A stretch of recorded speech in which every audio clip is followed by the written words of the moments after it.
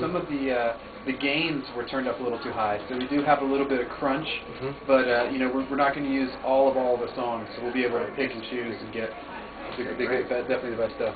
It's good sounding stuff. So I guess we're just going to um, ask you to, to to ramble, starting with like who you are and why you uh, like uh, started Picante, and then basically talk about like what Picante's musical mission is. You know, what what's the purpose of your music, what it means to you all, why you want to play Led Zeppelin in a you know in that style, you know that kind of stuff. And then maybe after you feel like you've said everything you want to say about the band as a whole, talk about each individual musician and maybe their background a little bit, uh, so that we can like while you're talking about them, do a close-up shot and play a little bit of music uh, while you're talking, and then.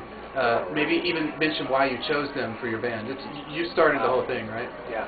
I mean, you know, just kind of. I used to have a, a band before. You know, Oh, yeah? I don't know if you want to mention that, maybe not. Well, I'll just say I had I had a band before, and um, from that band, the only member that stayed was the pianist. Oh, okay, cool. And, um, and then I chose. I. It's not running. That'd be. Oh no, no, but that'd be. Oh, it is, but we won't use it. Um, but that'd be a great segue. You know, you could talk about Picante and what the music is, and then be like, and my previous band uh, had a similar goal, and the uh, piano player was from that band. You could start talking about him, and then you could say, and then you could, you know, move into the other musicians from that. You know, use that as a segue. All right. Yeah, I think really about yourself, about the band, why you play what you play, what you like about it, Yeah. the guys. Just don't worry about being all continuous and everything. You have the idea of what we want, Yeah. and then we'll intercut this. It won't be all one piece. Exactly. So be just intercut ramble. with other stills and Yeah, we'll take whatever's stuff. good, Okay. whatever. So you just you start with whatever you want and Stop stop and any then, uh, camera Actually, I think if you could. question. Yeah. Oh, yeah. Okay. Let's see. Yeah. If you could just look at me, I guess that probably looks good there. Yeah. Um, let's see. So, who are you? Uh, what's your musical background, and why did you start Picante? Uh, my name is Ruben Orengo. I'm a violinist. I teach um, strings at the high school and middle school level at Asheville High School, Asheville High School and Asheville Middle School. And I'm classically trained. Um, I went. Yeah, I've, I've been here, I guess, in, in the Asheville area since. Let me go back a little bit. I grew up in New York City. I went to high school there. Um, then I decided to uh, go to school down here in North Carolina, School of the Arts for a couple of years. And I loved it in Asheville so much that I stayed. And this is my home now. And, um, the people here are just wonderful. It's just, uh, this is my home now. Um, I started uh, Picante probably about three years ago. Previously, I had another band, um, and those guys moved on, and they wanted to do their own thing. And uh, before, it was more of a Latin jazz thing, a nightclub type of thing. It was, we didn't have a vocalist and uh, I wanted to move ahead. I wanted to do something different. I'm, I'm the kind of person that likes all kinds of music. You know, there's always, and you can see it in our music. You know, we play salsa, we play reggae, we play uh, rock and roll. We play a little bit of kind of classical flavor. You know, like Stairway to Heaven. Do a little bit of you smooth stuff, classically, a little classical flavor. And you know, we believe that music is, um, you can express things in music that you can't express with words, and we try to reach people, you know, that way, and try to um, send out a good message, you know, that it's uh, good music is good music, you know, and um, you can tell by David, my uh, vocalist, his uh, his original songs have a really good message. If you really listen, listen really carefully, especially to one uh, titled um, "For This Dance Called Me and You," and um, and there's another one, Who Needs Love is another one that we're going to play tonight that you'll hear. Here, listen to the vocalist because he's really, uh, he's conscious about sending out the right kind of message um, to people, you know. And uh, um, so, as I was saying before, the pianist is the only one that stayed, which means my right-hand man.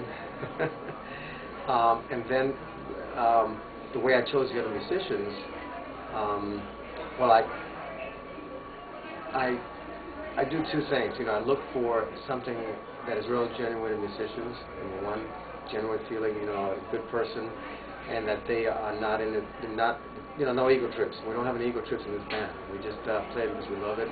And, you know, I always find, I, don't know what it is, but I, I've been lucky in choosing people. You know, I, I find something that is special, you know, and, and, I, and I just kind of pull them in. Um, but David, the, the vocalist, and Joel are members of the Unitic Band, what we call, here at, at Unity uh, Center, and they play every Sunday. And the way I met them was that uh, every once a month I play with the band here. I go to this church and I play with them, and so I like what David was doing with his vocals. And uh, so I went to Warren. He was, let's see, uh, David was the first one that I picked in this whole group right here. Um, so I went to Warren. I said, "Look, you got to, you got to hear this guy. He's uh, really sweet sound, sweet vocals. Um, so, and he's got something. So I, we had a rehearsal, just the three of us. And uh, David, as a matter of fact, David brought this, this dance called Me and You, and he sang it for Warren. And I said, you know, this, it was more of a ballad. And I said, this thing would really go good as a, as a reggae. So he tried a reggae, and Warren kind of filled in, and then I kind of did my thing, and it, it just clicked. And then from, on, from then on, I looked at um, finding a percussionist, a Latin percussionist. And Ronnie, I've known for a while. Before Ronnie, I used to play with my brother. My brother's doing his own band now. Um, so I pulled Ronnie in, you know, and I said, you know, we need a, a Latin percussionist. And he said, oh man, I'm glad to. So we pulled him in. Then after that, um, Spencer was the last one, uh, percussionist. And I, I knew him years ago. His mom goes to the school. I knew him when he was like 15 or something. I was 25, a long time ago. So and I found out that he, since I was interested in reggae, I found out that he and his mom uh, were doing a thing every summer where they took people down to Jamaica and were tied in with this resort place here. And she brought people down to Jamaica to spend time. And as it turned out, Spencer uh, spent a lot of time in Jamaica in the summers. And he lived with the, uh, how do you call it, Rasta? Rastafarian? Yeah, he lived with them, you know, for months at a time, out in the, in the woods. So he meditated with them, he did all kinds of stuff with them, and he jammed with them a lot on the beach. And uh, so he brings that special reggae type of feel to the band, which you know we love. Um, uh, so, and that's that's the way we, we started, and uh, they, we're doing, you know, we're just going a step at a time, and we're still thinking, talking about the sky's the limit. We, we're talking about, we haven't even touched the surface yet. You know, we're just now beginning. We've got ideas with, I mean, it's unbelievable. I just can't. I got to take it a step at a time.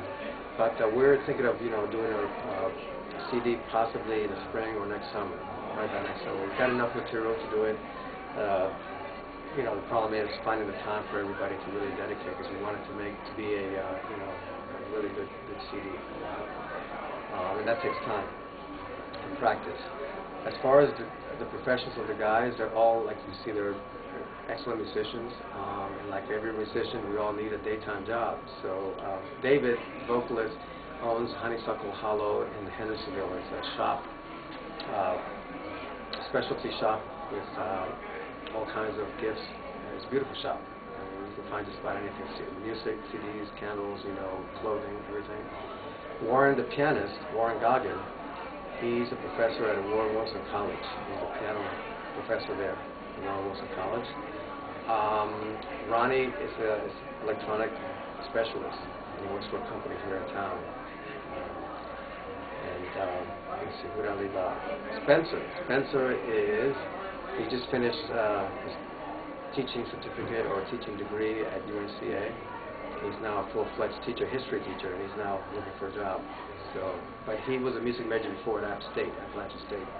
And before, when he was in high school, he was first chair in the All-State uh, band uh, percussion. So he was excellent, you know, one of the best drummers ever at Reynolds, Reynolds High School.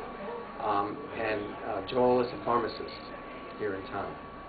And um, so, you know, we all just do this part time, and someday we, we hope to maybe do it full time. We, we can, step at a time. Perfect. Do we have everybody's name and the instrument that they play anywhere? Uh, yeah, I have it on my website um, under band, but I can give it to you. It's all there. I have a web page, and it's everybody's there, name and history. Okay. Did you mean in the video, like him No, as long as we Oh, have that's it, so on- when you Oh, yeah, we got that. yeah, That's- okay. That's on your website. Who website. plays what? Okay. Yeah. Yeah. You definitely uh, mentioned everybody. I don't know if you... Yeah, I think I you did didn't say mention last much. names either, though. Oh, that's fine. You know, we'll, we'll, I, we'll probably what we'll do is when you say someone's name, cut into a picture of them, have a title of their name over it and what they what they're playing as you talk about them. You know. Yeah, we work there. And if it, if it doesn't, it didn't work, we can do another one, you know. Oh yeah. Come and I you think guys we did. sometime. I think it sounded great. We got what we like, need? uh, the yeah, the only thing is that uh, it it may have been a, a you know, bit of background noise. It sounds like they want uh, they want you to go back out though. So I you know, we we'll, yeah, we'll work Time with to this, and you know, if anything needs to be done differently, we'll we'll just do it again. Thanks, Well, Ruben. Thank you. We're gonna get to work. Thank. Oh, man, wonderful. Yeah. I think when the call was going like this. Oh yeah, somebody out there was like, "Come on, come on." Okay. Thanks, Ruben. Thank you guys, man. Uh, Yeah, this is, uh, we'll get back with you. this is priceless. Yeah, we're looking forward to it. It's gonna be good. Yeah, thank you. Thanks, Ruben. That was really good.